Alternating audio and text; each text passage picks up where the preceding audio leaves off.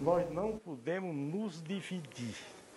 Unidos nós somos, seremos competitivos e mais fortes. Eu creio que essa é a tese minha, ou seja, nós temos que nos unir e não fragilizar, pulverizando opiniões e candidaturas diversas. Eu creio.